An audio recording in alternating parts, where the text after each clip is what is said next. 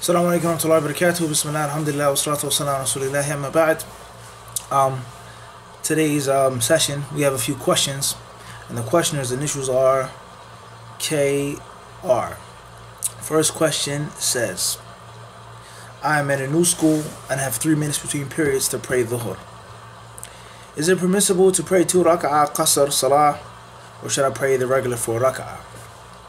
Uh, Bismillah ar-Rahman ar-Rahim. First and foremost, we say that the prayer is from the most important things that a Muslim must do in his daily life, rather in his entire life. The prayer is the second pillar of Al-Islam. It is something that Allah subhanahu wa ta'ala has made obligatory upon all of his slaves. Those who are learned and those who aren't learned. Those who are wealthy and those who are not wealthy. Men and women, black and white, red and yellow those who are traveling, those who are residents, those who have good physical health, and those who suffer from poor physical health. No matter what the case is, if you have your sense of awareness, your mental faculty, if you're in a sane state, then you must offer the prayer. Um, there are so many different verses in the Quran al-Kareem and in the authentic hadith of the Prophet ﷺ that show us the importance of the prayer, its virtue, the severe sin and crime of those who do not perform it or those who waste it, um, the dispraise of those who stand lazily therein, and the list goes on. The Messenger of Allah has told us that the thing between us and them, the non-Muslims, the rejectors of faith, are or that thing is the prayer. billah. So therefore, uh, Allah Azza wa He tells us uh, in Surah An-Nisa, speaking about the verse of that which the ulama of Islam call ayatul khawf or salatul khawf, the prayer of fear. In other words, when the Muslims have uh, met their enemies, they are not exempt from offering the prayer.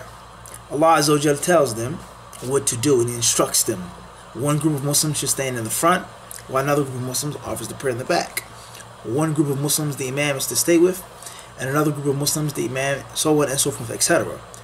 The topic of uh, our discussion here is not the rulings of the prayer of fear, but I'm trying to get to a point, and that is after Allah Azza wa Jalla instructed the believers, instructed the Prophet Sallallahu with regards to the prayer in this time of fear, he says, um, establish the prayer when you feel safe, when you're at ease, when you have the ability, establish the prayer. إن الصلاة كانت على المؤمنين كتابا منقوتا because the prayer is obligatory upon the believers in a prescribed time. In other words, the believers, when they're doing such a serious act as fighting in Allah's cause, they are not exempt from offering the prayer in the proper manner, in the proper time. So therefore, if uh, that's the case with regards to uh, that verse, then what about when you're home? When you're not fighting in Allah subhanahu wa ta'ala's cause, the prayer is even uh, more serious. Okay, so therefore, under any circumstance, is a believer allowed to shorten his prayers and he's not a traveler. The only time in which you're allowed to shorten your prayers is when you are traveling. As for combining the prayers when you're not traveling, that's a different issue. Okay, that's a different issue that we're not getting into right now. But shortening them is from the specifics of the traveler. When the Messenger of Allah وسلم, offered the prayer in the authentic hadith, okay, in Bukhari Muslim, and he salamed out after he made two rak'ah. He made rak'atain, two units of the prayer. That man, Dhul Yadain, he said, was the prayer shortened or did you forget, O Messenger of Allah The Messenger والسلام, said, I didn't forget, nor was the prayer shortened. He says, rather you have, O Messenger of Allah. The point that we're trying to get to, as hadith clearly proves, that if a man only makes two rak'ah, his prayer is incomplete and it is not considered to have been fulfilled. So therefore, um, you are not allowed to shorten your prayers unless you are a traveler. And Allah subhanahu wa ta'ala surely knows best. Next question says, after wudu, if you see a part of your body that isn't covered, for instance, your arms aren't wet to your elbows, do you have to make wudu again or can you just wash that part? We say that some of the people of knowledge hold the opinion that um, al-muwala, which means to do things in succession, to do one part right after another, okay, in a continual motion. many of the people of knowledge hold the view that this is mandatory and it must be done in one's wudu. Okay?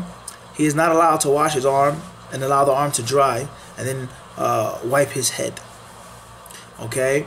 Rather, he must do these things all in one success, one uh, uh, fluid motion, unless there is an excuse, extreme heat, extreme cold, so on and so forth.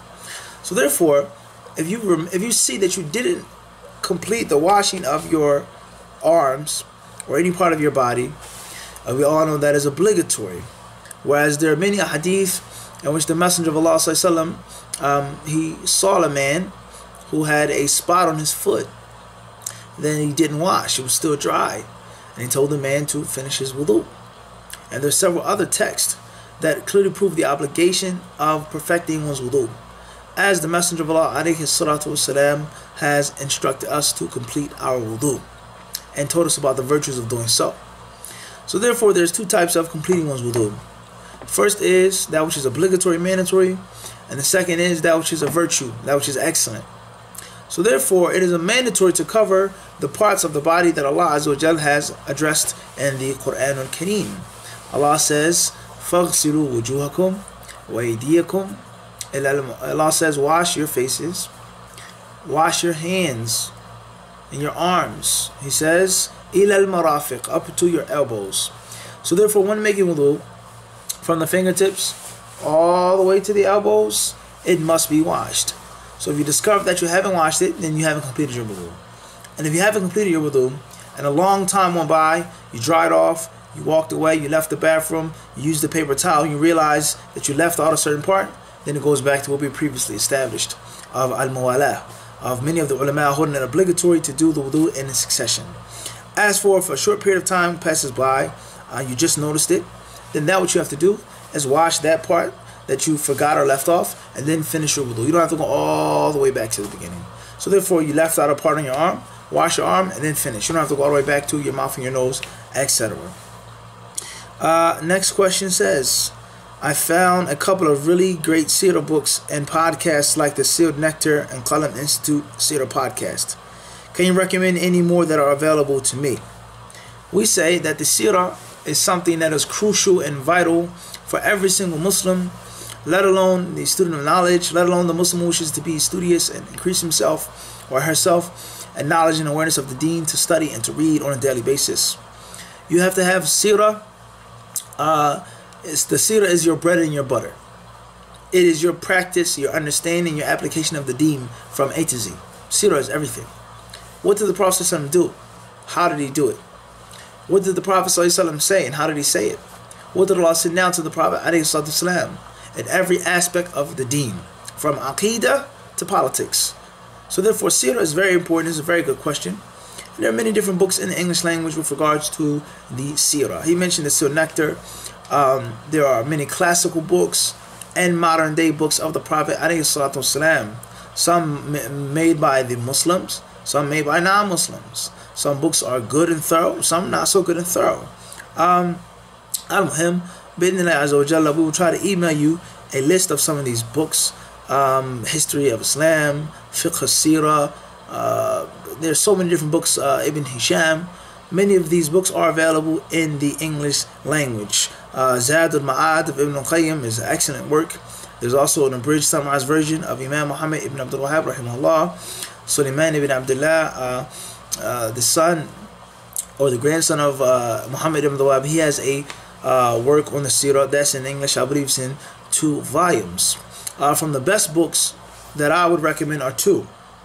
Um, the first is the book of a Nawawi called Tahdhib wa Sirat al-Nabawiyya, which is a summarized version of a bigger classical book and the second is Al-Fusul fi Sirat al-Rasul of Al-Hafidh Ibn Kathir rahimahullah ta'ala.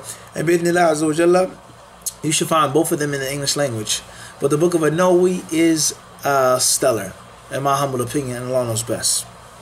Next question says, when you hear or, or when you say or hear the Prophet sallallahu when you hear say the Prophet Muhammad Muhammad's name, do you say Sallallahu Alaihi Wasallam or Alayhi Salatu Wasalam or peace be on you or either of them? Fine.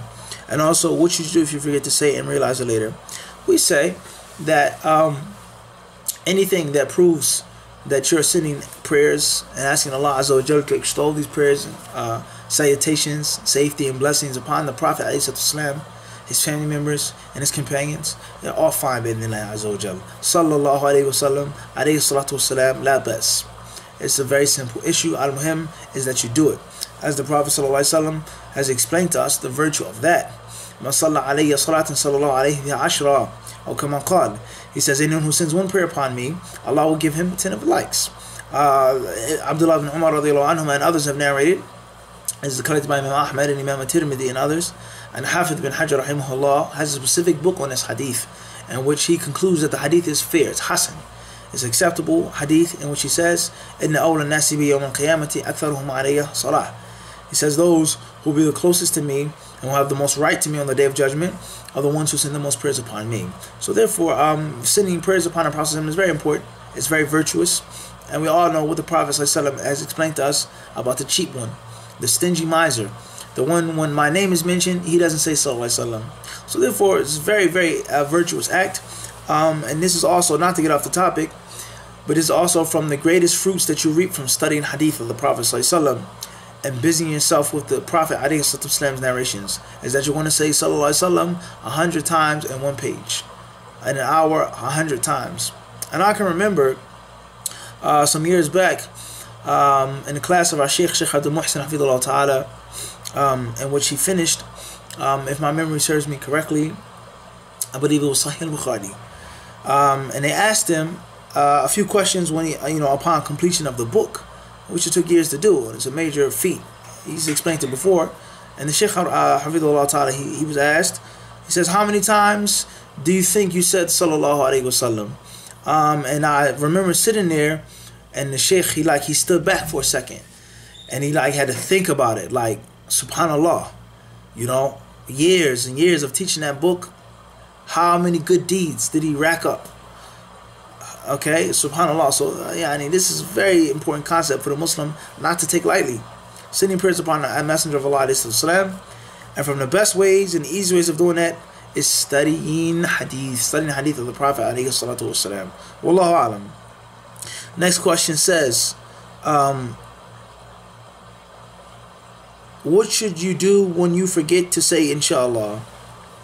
Allah subhanahu wa ta'ala has told us in the Quran Surah Al-Kahf, and do not say anything, ذَلِكَ إِلَّا إِن يَشَاءُ Okay, it says, uh, إِلَّا inshallah, it says, do not say anything that I'm going to do this and that tomorrow unless Allah wills.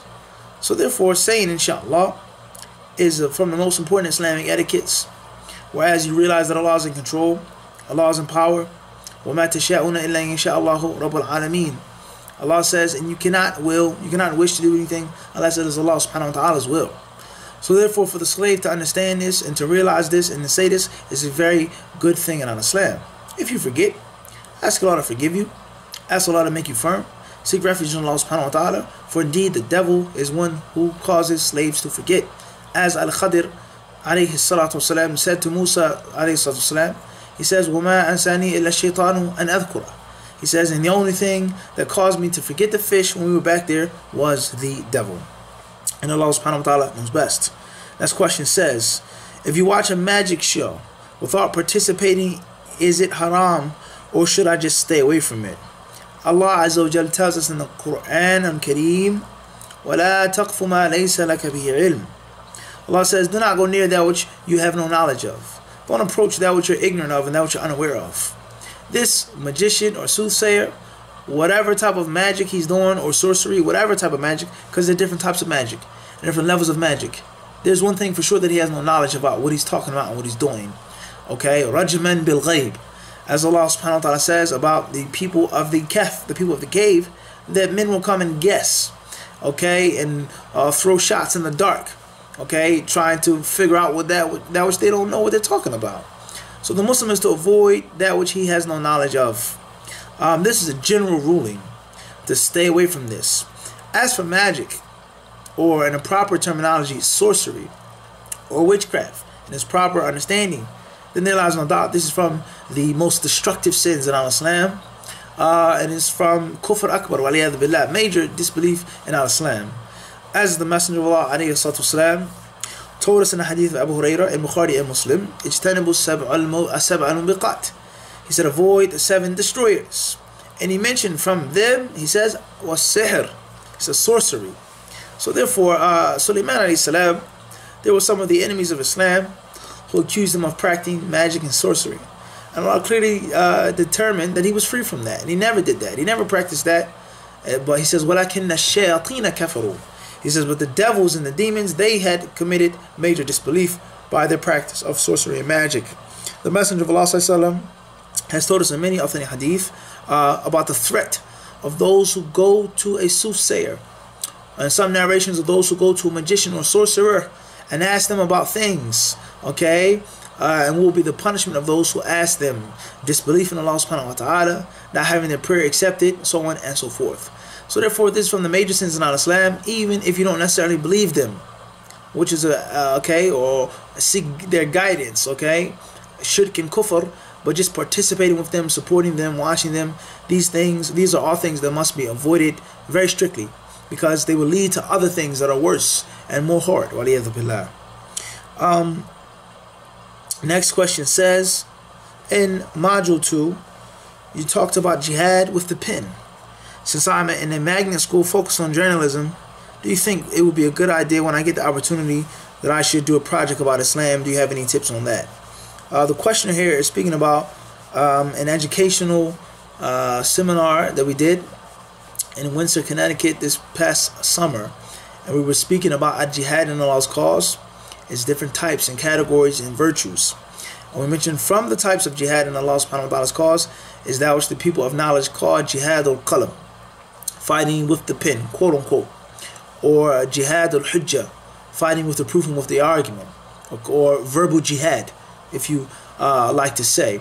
Um, therefore, uh, defending Islam from the doubts and the different attacks and the assaults that are launched and levied and hurled against it, uh, propagating Islam, okay, offensive, okay, taking the offensive, talking about Islam and pushing it and spreading it, teaching Islam, attacking kufr and the people of kufr, okay, and finding the major loopholes and the mistakes and their religions and their uh, ways of life and their faiths, quote unquote. This is all from jihad in Allah subhanahu wa ta'ala's cause, whether it's defending the deen with the pen or whether it is propagating the deen with the pen. Um, so therefore, this is from the most virtuous acts in this time, in any time, but especially in this time, which Islam is being attacked from so many different angles and aspects. There are Muslims who attack Islam, whether they realize it or not. And there are people who do realize that they attack Islam that aren't Muslim. Okay? Um, the creed of Islam, politics of Islam, the Quran and Kareem, Hadith of the Prophet, the Prophet himself, and the list goes on.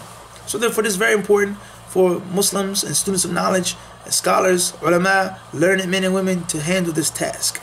Um, as for tips, then first and foremost is that you have to have knowledge. You must have the proper in yourself, proper education yourself. Not a little bit, not in the middle, but you must be mutadalli'. You must be mutadalli', as the ulama say. In this word, in the Arabic language, tadallu' um, comes from three basic letters. Bala'ah and you know that a person's rib, a as the Prophet ﷺ told us in the Hadith of Abi Hurairah, that Hawa was created from a dhila, from a rib. So therefore, the meaning of this word mutadalli' means that when a person drinks water, he drinks so much that his belly swells and as if his ribs protrude, as if the meat or the yani, what's in his belly is sticking to his ribs, poking out of his ribs. In other words, that is how you are to have knowledge of the deen. You are to be armed with ilm, not a little bit of ilm, not in the middle, but you are to be an expert, a master, firmly grounded, strong with knowledge. So much so that the knowledge is pouring out your skin. You know the Quran, the Hadith, the Arabic language, their doubts, what they want to bring, so on and so on and so forth. Strong. As for if you're not properly trained, then you shouldn't fight. If you're not properly trained, then it's not upon you to bear arms against your enemy. Even though they may be your enemy, it's not for you to do so. Okay, you pass on a book or tape or lecture. As for you yourself performing this type of jihad, talking and speaking and debating, then it is something that you must have an abundant amount of knowledge of. Allah Azza wa Jal, He tells us in the glorious Quran, قُلْ هَذِهِ سَبِيلِ أَدْعُو إِلَى اللَّهِ عَلَى بَصِيرَةٍ أَنَا وَمَنْ اتَّبَعَنِي وَسُبْحَانَ اللَّهِ وَمَا أَنَا مِنَ الْمُشْرِكِينَ In the end of Surah Yusuf, Allah tells us, Say, O Muhammad, هَذِهِ سَبِيلِ This is my path, in which I call to Allah upon basira, with knowledge, insight, wisdom, piercing thought. This is what I do, and this is the task of my followers also. And how perfect is Allah, and I'm not from the mushrikeen, the polytheists, and the idolaters. Um, so therefore, having knowledge of the deen, um, strong knowledge, insight, wisdom is a standard condition for the da'iyah and the one who wants to defend Islam and propagate Islam. Um, this is a whole topic in itself, a whole lecture in itself. I would advise you to be wise, uh, to be smart, um, to seek help and guidance from Allah subhanahu wa ta'ala first and foremost, okay, uh, and everything that you do and everything that you say, um, and seek the counsel of your teachers and of those who are more learned and more experienced than you before you wish to take action with regards to writing or saying something about Islam. Also, looking at that which is available, that which is out there, that which is the most popular or biggest widespread doubt about Islam, um, looking at the people that you're speaking to, what is their level of understanding, what have they been exposed to, so on and so forth. These are all different tips with regards to jihad with the pen. Uh, but most importantly is to outwit your opponent is to be wise, to be smart, and to outflank them with the proofs and with the evidences. Come at them from aspects in which they're not used to, unconventional methods. Talk about things in a specific way, in a specific manner that catches them off balance. And make Bidnillah Azawajal uh, use reason. Okay, and intellectual proofs and arguments, things that are tangible that they can relate to in their daily lives, as Ibrahim salam did when he said that the big idol did it. And he made them feel stupid. They knew that the big idol couldn't move, couldn't talk, couldn't hear anything. How could he destroy the smaller idols? And he says, so why are you worshiping them? So this is in brief. This is a whole entire lecture in itself, and perhaps Azawajal will dedicate a separate session to it. Allah knows best. This is the end of this session of these um, questions. If there are any other questions um, from uh, this brother K.R. or any other brother or sister, feel free to send them and post them on the YouTube channel. And Allah subhanahu wa ta'ala knows best. Wa sallallahu wa ala abdi wa rasulihi Muhammad. Wa jazakum Allahu khairan. Until the next session, assalamu alaikum wa rahmatullahi wa barakatuh.